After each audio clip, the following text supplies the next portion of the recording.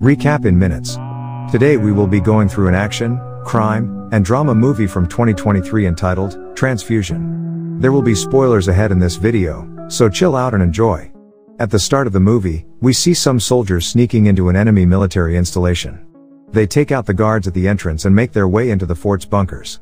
One of the soldiers, Ryan Logan, is a sniper and he takes out the guards outside the walls of the fort. Once they get to a safe bunker, they start taking out the militants inside. During the interrogation, one of the militants takes a shot at Logan and he gets injured. His fellow soldier calls for an ambulance while they radio back to the situation room. Later on, we see Logan and his son, Billy Logan, out hunting in the forest. Logan teaches his son how to take shots at the target but Billy hesitates. Eventually, Logan takes the shot and they set up camp for the night. They chop up the deer and cook it for dinner. After eating, Billy goes for a little walk in the forest and comes across a howling dog. He gets scared and calls out for his dad. Logan takes out the dog with his sniper rifle, but it makes Billy a little sad. Logan tries to cheer him up by letting him drive the truck on the way home. At night, they reach home after the camping trip and Logan meets his pregnant wife, Justine. He tells her that they had a good adventurous time camping today, and expresses his wish to see his other child too. In the morning, before going to the base, he prepares breakfast for his son and wife. He suggests a name for the next child and laughs at different other suggestions. In the next scene, he sits with the recruits of the Australian Army at the base. His work is to instruct the newbies on battle techniques and sniper training. This time he talks about courage and fear to them. He starts saying that they are just men like others, and just trying to walk a line between courage and fear. He says that taking on a task that they're ill-equipped to do is pure courage. He tells them that his job is to equip them for any situation, in which they find themselves in the line of duty.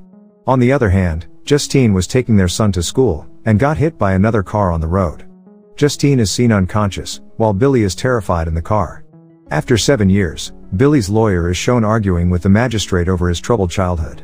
The magistrate asks the lawyer where his father is. When she points out at him, she orders him to stand up and give his position on his offenses. She tells him that they are having him a third time there, and looks at his record of crimes he committed. She briefs him on his offenses which were, stealing, drug possession, and now, the destruction of property. She reminds him that he has been picked up by the police on all occasions. She tells him that she knows that he has got only him as his parents after his mother's death, and expresses her sympathies with him. She lets them go by warning them that if he appears before this court again, he will either be sent away or taken from his care. In the next scene, Logan takes him to his school. The principal asks Billy to wait outside, as they have to talk about some important things. The principal reminds Logan that he has not paid his last term's fees. He tells him that there are good alternatives to the school. He advises him to take him to some public school, where he might be happier, because he remained absent for 10 days in his school. He tells him that it might be happier for his son and easier for him. The next day, he was doing a job as a sales representative. He goes to a liquor shop in the city of Perth. He starts introducing himself and his menu card to the employee there. The employee ignores him and asks him to get out of his shop. He comes back to his car but feels uncomfortable, returns to him, warns him of his words, and leaves. After some time, he goes to see his military friend, Johnny, he tells him that he needs some money for himself and his son. He asks him if he would be interested in doing something with him. He tells him to steal some money from a leader of a drug mafia's locker. He hesitates but eventually agrees with him, as he needed money for them. The next moment, they reach the house and steal the cash from the vault. They successfully escape from his house later. The next day, his manager calls him at the office and asks him why he threatened the liquor shop's owner at work. He removes him from the job when he could not promise him not to do that again. At night, when Logan was checking his hunting rifle, Billy comes to him and says he wants to go to a friend's party. He lets him go under one condition that he will be back soon. After some time, he goes to his school friend's party and starts to enjoy it with them. His friends pump him to drive one of his friends, Jesse's father's car. Firstly, they do not agree to take the car, but when Jesse confirms that his father is not at home, they drive it out. And because Billy was not sober, he crashes the car at the dunes. On the other hand, Logan was busy spying on Johnny and his mates at the bar. Johnny was trying his best to divert their suspicious minds from him to some other person. Ned, the head of the group, asks them to stop blaming each other and find the main culprit. But his man does not believe Johnny, and says he does not smell right whenever he hears Johnny's name. He suspects Johnny of playing with Ned. The next moment, Logan comes home and he gets a call from his son, who informs him about the accident. He calms him down and reaches the spot where he has crashed the car. He starts inspecting the car, Billy, and his friends. Billy's friends tell him that it was Billy, who was drunk driving the car. Logan feels helpless and takes him back home. In the next scene, he goes to the site, and sets the car on fire to erase the evidence against his son. He goes to meet Jesse's father, whose car Billy was driving last night. The man, Jim Woods, tells him that his son has told everything to him about Billy and the car. He also tells him that he knows about him and his military career. Now he asks Logan where his car is.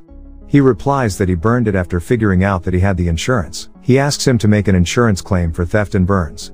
Jim tells him that he is a solicitor, and he knows what will come to him after a false insurance claim. He could go to jail, or at least, he would not be practicing law again. Now he talks about his son, and tells him that his son told him that Billy is a ratbag. He is already in trouble with the cops. He warns him that he is putting everything on his son's shoulder, as he was driving the car while drunk. Logan requests him to leave him alone and give him some days, he will pay him the price of the car. Jim agrees and Logan leaves his house afterward. The next moment, he takes his son to a medical clinic for his checkup. There he gets into the past and remembers when his wife had that accident. He remembers when the doctor came to him, and told him that his wife and child were in danger.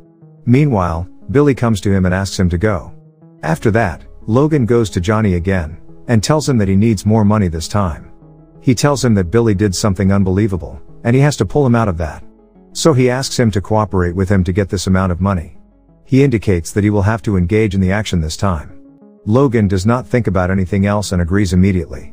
At night, Johnny was waiting for someone along the road, and Logan kept an eye on him. Ned comes there with his man and sits in his car. He tells him that they have figured out that he has stolen the money from his home. Johnny does not lie this time, and accepts that he stole the money. He also tells him that it was dirty money, so he did not think much before stealing it. Ned gets angry and his man takes his gun at Johnny's head. He asks him where the money is. He replies that it is in the back of the truck. Ned comes out to open the car, but Logan snipes him out there. He kills many of his men after that shot. Johnny digs their graves and asks Logan to go home. He appreciates him saying that he just eliminated the drug dealers. When he comes back home, he thinks about his time with his wife in the hospital, when she was on the deathbed, and the doctor was saying that she could not survive the internal bleeding. He cries in pain at losing her in the corridor. In the next scene, he goes to Jim and waits for him in the car. He hands over the money to him and tells him to stop looking for his son now. After some time, Johnny was listening to some music in his house. Suddenly his door knocks, and when he opens it, an assassin enters to kill him. Both of them fight there but eventually, Johnny kills him. The next moment, he goes to Logan's house and yells at Billy, and asks him where his father is. When he comes home, he tells him that the drug dealers have sent an assassin to kill him in his apartment. Logan ignores him saying that if someone has come to kill him, it is his problem and he cannot do anything. Johnny yells at him and says he owes him for what he did for him, as he gave him a lot of money. Logan comes near him and pushes him to come to his senses. Johnny starts sobbing and apologizes for yelling.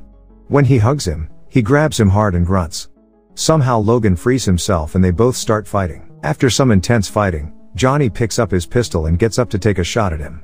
Meanwhile, Billy comes out of his room and kills Johnny immediately with his rifle. The movie ends when both the son and father sit outside and eat their lunch. Billy thanks his dad for what he did for him. Thank you for watching, and please subscribe recap in minutes for more videos like this, and help the channel grow.